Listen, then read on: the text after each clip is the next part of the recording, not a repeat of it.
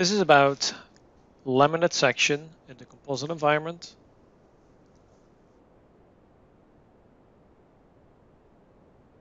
Drop off and ply color coding. In this model, we have a few plies and a core defined, as you can also see in the graphics area. Let's now define a laminate section. Switch on the datum planes and select this datum. We can drag the section and as you see, it dynamically updates. There is a color coding going on which corresponds to the color coding in the laminate list as well as with the color coding on the ply contour outlines. Besides the color coding, the special option in the laminate section is the scale factor. By increasing the scale factor, the ply thickness is enlarged, the core thickness is kept constant, as that is already relatively thick to the ply thickness. So in order to better see what you're working with, we allow you to scale the thickness of the plies.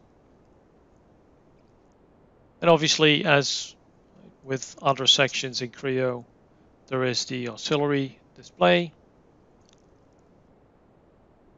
and the additional other options. By looking at the laminate section, we can clearly see the core and the other plies and how they're dropping over each other. If we go to the default drop-off setting, you will see that for this model, it is set to one, in this case millimeters, because it's a metric part, meaning that the distance between the underlying outer contour of this yellow ply and that contact point there is one millimeter distance. If we switch on the laminate manager to view the columns we can add the drop-off column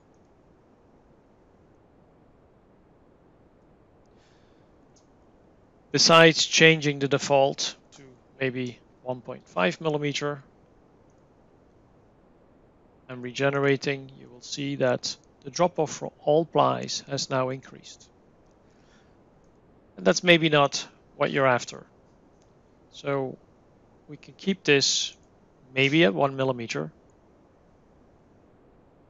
and then take ply number four and change its value to be 0.5 millimeter. So we have ply granular control to change the drop-off behavior. We can also put the drop off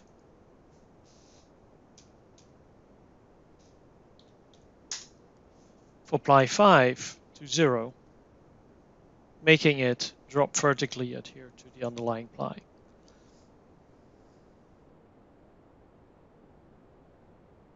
From the setup group, there is the color mapping tool.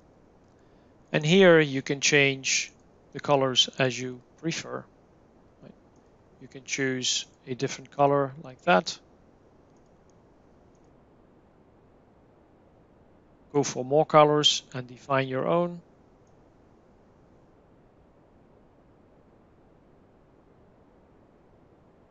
Or actually use the default set by the system and go back to the original.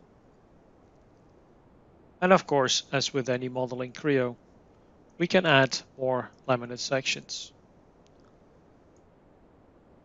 And you see the discrepancy here. That's clearly because the scale is not the same. If I would match the scale, it will line up with the other section. But it's for you to decide if you want these sections to have the same scale or different. You can choose as you apply it. We can also deactivate the section so it no longer clips the model. And of course, turn off the visibility completely. Thank you.